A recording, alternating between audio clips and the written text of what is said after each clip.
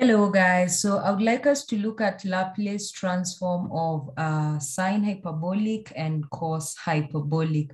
So let's start off with Laplace transform of sine hyperbolic AT. Now, in order for us to evaluate this, we'll first of all start by expressing sine in its uh, sine hyperbolic in its exponential form. Now we know that if we have sine hyperbolic x in exponential form, it will be exponential x over 2. So this will be the same as the Laplace of exponential at minus exponential minus at over 2. So this is basically it in its uh, exponential form. And this will give us integral from 0 to infinity of exponential minus st multiplied by the function exponential at minus exponential minus at, all this divided by 2. So I can just write the half outside, and then this is dt. So the next step, since all my values are in terms of exponential, I'm going to put them under the same base, that is exponential. So multiplying this and this, I will have exponential.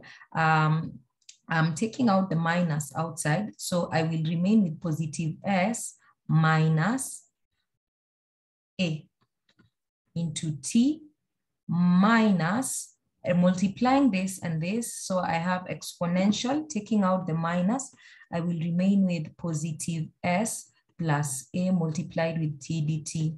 Okay, integrating that, the first function integrating will have exponential minus s minus a over minus s minus a minus integrating the second function, we have exponential minus s plus a all this divided by minus s plus a.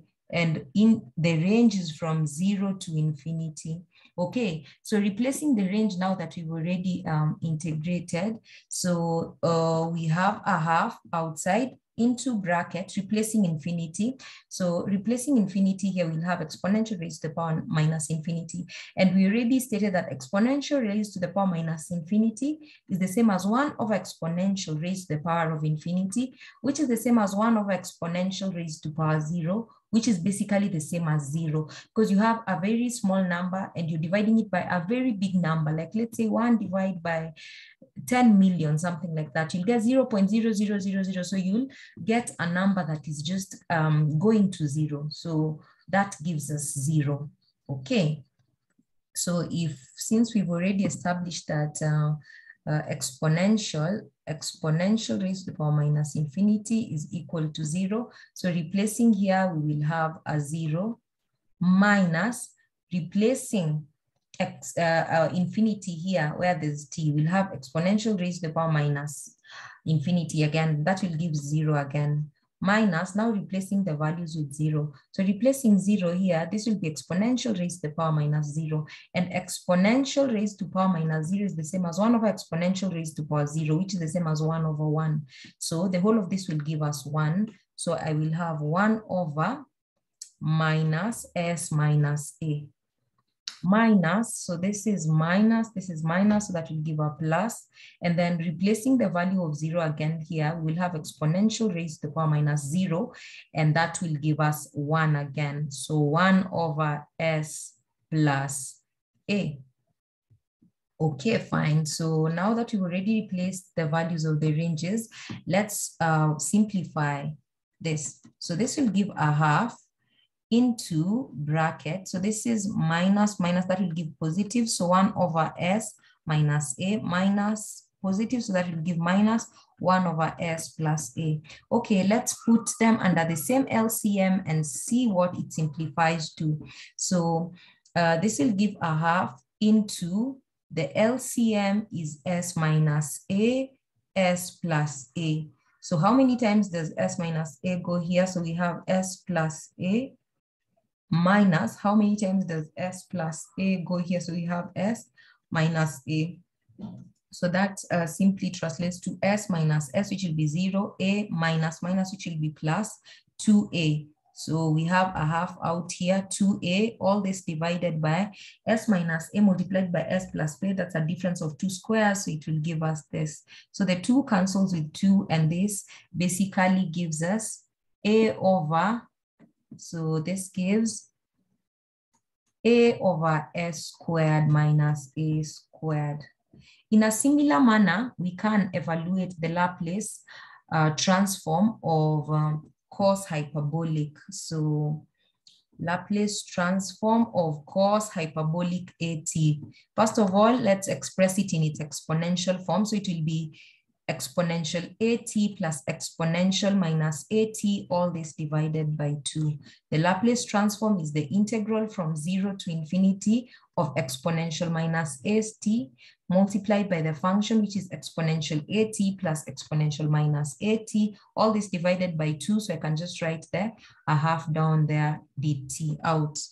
Okay, so I have a half. Let's put them uh, under the same basis. So multiplying this by this, I will have exponential, take out the minus. So I will remain with s, s uh, minus a, t plus exponential, take out the minus again. I will remain with s plus a, t dt. Okay, let's go on and now integrate. Integrating the first function, we'll have exponential minus s minus a over minus s minus a.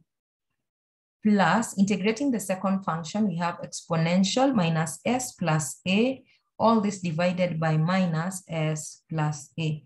Integral is from zero to infinity. Okay, fine. So let's replace the ranges and see what that gives us. Let's replace the ranges and see what that gives us. So this will basically give us a half into replacing infinity. So over here, we can clearly see if we replace infinity here, we'll have minus. This will basically just simplify to minus infinity. And we already established that that is zero. Plus, replacing infinity again over here, that will simplify to exponential minus infinity. So the whole of that will just be zero. Minus, now replacing the value of zero the first time here, so this will be exponential raised to the power minus zero, that will be one. So we will have 1 over minus s minus a and then plus, so actually minus because plus minus, so this is basically just uh, minus, minus, uh -huh. replacing the value of, um, replacing the value of zero over here, we'll have exponential raised to power minus zero, which is one. So that will be one over s plus a. Okay, fine. So simplifying this, so we have a half into bracket, open the bracket by minus this. This will give me positive 1 over s minus a minus minus will give me positive 1 over s plus a. Then let's put this 2 under the same LCM and simplify. So we have a half outside into bracket s minus a, s plus a Okay, so this gives s plus a over here, plus uh, this gives s minus a. Okay, putting that together, so this is a half into s and s will give 2s, a minus a will give 0, all this divided by a difference of two squares in the denominator. So this will cancel with this.